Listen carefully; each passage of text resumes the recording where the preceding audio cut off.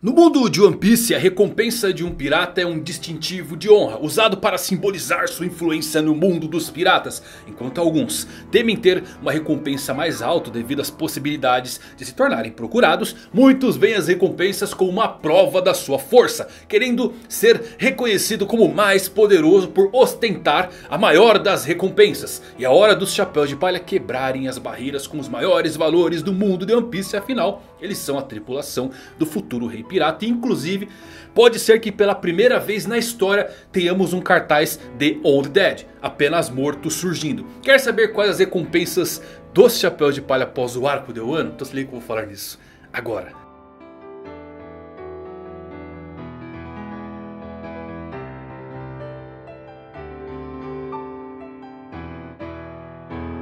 Evandro Fusari com mais um vídeo pra vocês, como é que vocês estão? Espero que todos vocês estejam maravilhosamente bem Hoje vamos falar das recompensas finais dos chapéus de palha Temos uma dica muito preciosa de quais serão esses valores E eles estão nos inimigos que cada um deles derrotou. Então assiste até o fim porque tá muito legal. Inclusive pode ter um dos membros aí com cartaz de Only Dead finalmente aparecendo na obra. Antes de eu seguir, dê um confere aí no nosso patrocinador. Pardofeles dá as boas-vindas para você para a versão 5.6 de Honkai Impact Third, um jogo RPG de ação dos mesmos criadores de Genshin Impact, disponível para celular e computador e com uma história pra lá de complexa e recheada. Pardofeles luta com a graciosidade incorporando tanto a agilidade de um gato quanto os traços de uma dançarina. Ela porta um novo tipo de arma, um chakram que pode ser separado em dois para os mais variados tipos de combos. E o que é mais impressionante é que o quarto ataque convoca literalmente uma pata de gato. O gato também pode atacar inimigos colidindo com eles do céu, causando muitos danos de maneira fofépica. O que é fofépica? Uma coisa fofa e épica. Mais atualizações serão adicionadas no modo roguelike in-game. Se você participar desses eventos disponíveis, você vai liberar novas skins para os seus personagens. Inclusive o evento da atualização anterior, Empyrean Legends, será repetido nessa nova versão. Ele vai recompensar você com cristais, fragmentos de Honkai, fragmentos de Reveriste Calico e muito mais. O jogo é completamente gratuito, você pode baixar pelo link aqui na descrição e também utilizar esse código exclusivo para resgatar recompensas dentro do jogo. Baixe já e se divirta, espero vocês lá e muito obrigado aí para Honkai Impact por patrocinar esse vídeo. Então se você é novo no canal já aproveita aí para se inscrever, escritão que é Mangalático da pior geração. Dispara o like para dar uma fortalecida e agora com vocês todas as recompensas dos chapéus de palha após o arco do ano.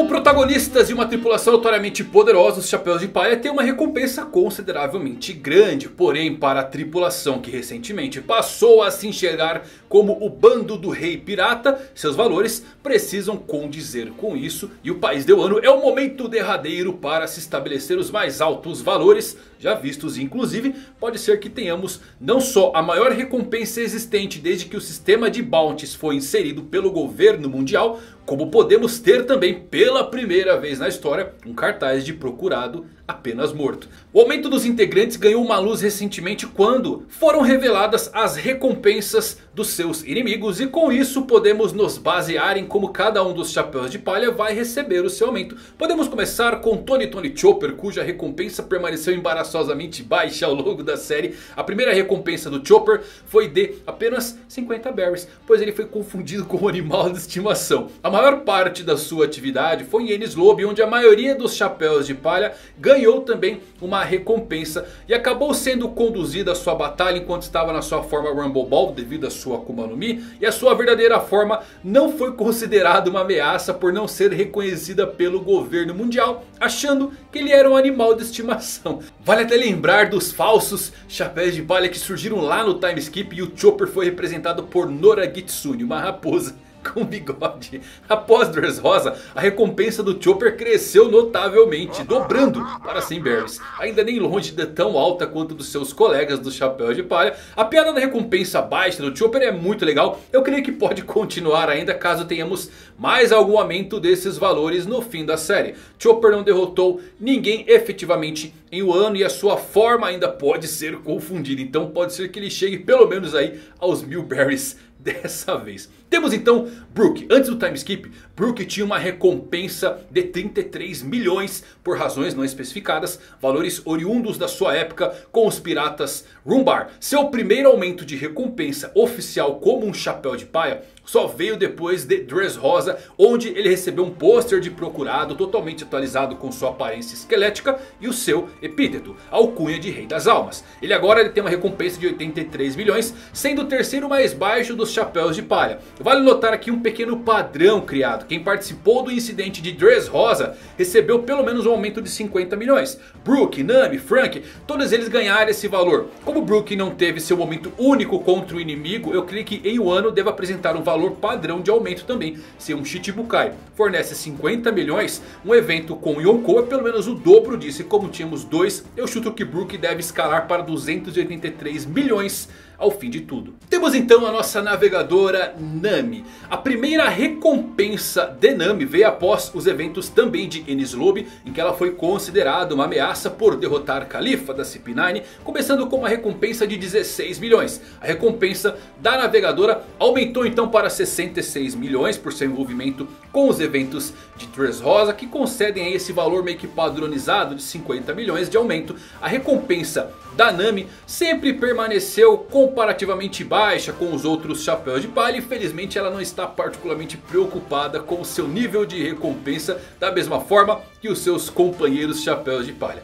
Nami teve um confronto interessante com Uchi e Peijuan que acabaram caindo para uma Big Mom em seu modo mãe. Mas Nami atuou efetivamente em Onigashima e ainda conseguiu Zeus com um belo power up. Considerando que Peijuan tem uma recompensa de 290 milhões e Uchi tem uma recompensa de 400 milhões. Nami pode acabar no meio termo desses dois piratas. Como ela não derrotou ninguém eu colocaria 266 milhões. Mas se Oda for generoso com ela, Nami pode alcançar os 300 milhões tranquilamente. Já o nosso ciborgue movido a cola, Frank, a primeira recompensa de Frank foi adquirida a partir do seu envolvimento com o ataque também do Chapéu de Palha lá em Lobby, apesar de ainda não ser um membro pleno da tripulação naquela época. Ele recebeu uma recompensa inicial de 44 milhões que resultou do seu triunfo sobre Fukurou da CP9 por queimar as plantas da arma ancestral Pluton. Depois de derrotar o Senhor Pink dos piratas Don Quixote e contribuir para a queda de Doflamingo, a recompensa de Frank subiu para 94 milhões, ganhando o padrão padrão de aumento. Porém, agora ele derrotou Sasaki que tem uma recompensa de 472 milhões. Então Frank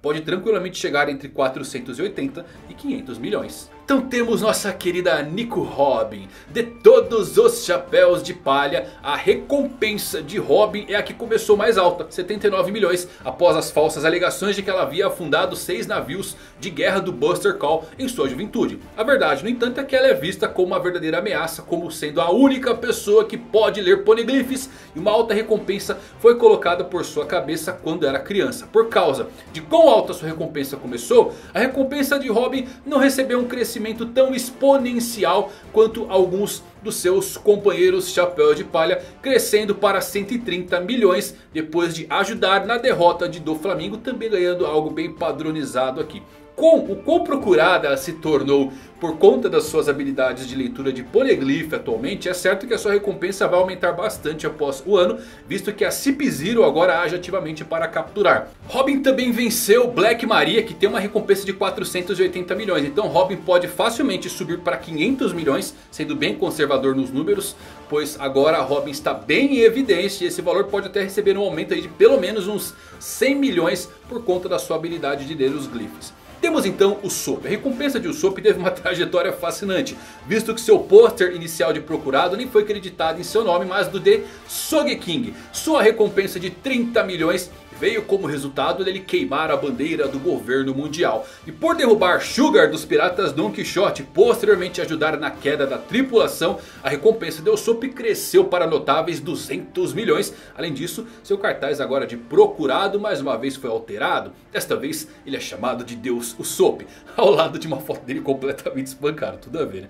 Também atuando efetivamente contra Uchi Peijuan, mas com pouco brilho, visto que seu arco definitivo deve ser Elbaf. Usopp pode ganhar o padrão deu ano, chuto 200 milhões e quem sabe aí subir para 400 milhões ao final do arco. Valor igual Deut. Temos então o nosso Cavaleiro do Mar, Jinbe. Embora ele possa ser o mais novo dos Chapéus de Palha, Jinbe vem com a segunda maior recompensa entre eles atualmente. Durante o seu tempo com os Piratas do Sol, Jinbe ganhou uma recompensa de 76 milhões. Valor esse que aumentou bastante aí para 250 milhões depois que ele chegou à posição de capitão. Quando ele foi ligado aos sete senhores de guerra, os Chichibukais, a recompensa de Jinbe foi congelada. Mas posteriormente acabou sendo renovada quando ele cortou os laços com a organização e começou a agir de forma independente. Sua recompensa atual, 438 milhões, foi definida pelas seguintes razões. Escapar de Impel Down, lutar ao lado de Barba Branca e Marineford e por se demitir dos Chichibukais. Agora ele derrotou Rusru que tem uma recompensa de 546 milhões. E Jimbe pode também facilmente chegar aos 600 milhões. Mas eu diria algo mais próximo dos 800 milhões. Algo que seria bem digno para Jinbe. Já o nosso cozinheiro, a recompensa e o pôster de procurado de Sanji passaram por uma jornada significativa. Inicialmente tendo uma recompensa de 77 milhões após ele lobby com uma foto que nem era do Sanji. Seu pôster de procurado finalmente o apresentou depois de Dressrosa e cresceu para 177 milhões. Esta versão no entanto especificou que Sanji fosse pego vivo, uma raridade entre as recompensas. Agora com 330 milhões, Sanji manteve sua posição como o terceiro maior detentor de recompensa dos Chapéus de Palha superando o Zoro. Esse grande aumento atesta seus laços familiares, sua ajuda na tentativa de assassinato de Big Mom e a sua participação geral nos eventos de Totoland. Sanji que despertou seu fator linhagem e derrotou Queen, a calamidade que tem uma recompensa de 1 bilhão 320 milhões e estabelece o marco de uma das asas do futuro rei pirata, os Chapéus de Palha são uma tripulação de Imperador. E Sanji vai superar Queen, eu colocaria ele com 1 bilhão 350 milhões ou melhor ainda, 1 bilhão e 400 e vocês já vão entender o porquê. Para isso, precisamos falar de Roronoa Zoro. Ao contrário de muitos dos Chapéus de Palha, Zoro tinha uma recompensa antes de Enies Lobby.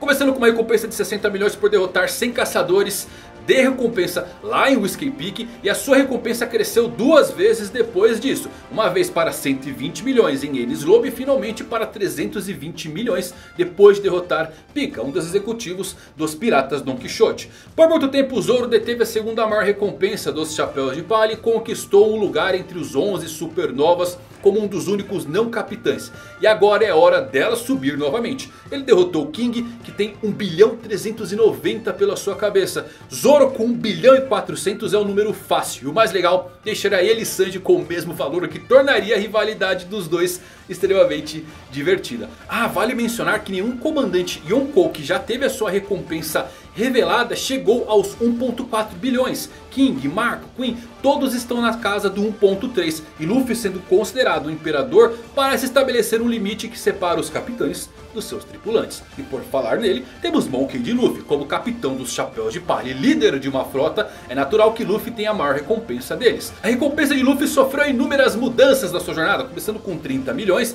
depois de derrotar notoriamente os piratas mais fortes do East Blue, e depois de derrotar Crocodile e se opor publicamente ao governo mundial, sua recompensa cresceu para 300 milhões, onde permaneceu até depois de Marineford, subindo então para 400 milhões. Luffy agora detém uma recompensa de 1.5 bilhão, uma das mais altas de One Piece. Ele agora é reconhecido como um dos piratas mais perigosos, tendo derrotado muitos Chichibukais e piratas poderosos. E por seus laços familiares também sendo reconhecido como relacionado a Portugas de Ace, Garp, o herói da marinha, Dragon e Sabo do exército revolucionário. Luffy tem uma bandeira negra sobre a sua cabeça. Ele e seus aliados são responsáveis por derrubar dois Yonkous. Todos os comandantes de Kaido, incluindo seus astros principais, que eram todos feitos de capitães poderosos. Reuniu o país de Wano e os samurais que foram fechados desde o século perdido. E eles vão se aliar aos chapéus de palha. Luffy agora é um imperador, com uma tripulação de calibre imperador. Mas que tem uma fruta proibida pelo governo mundial, onde até mesmo não pode ser nomeada corretamente. Sua Hito Hito no Mi modelo Nika é algo ligado a Joy Boy e ao século perdido.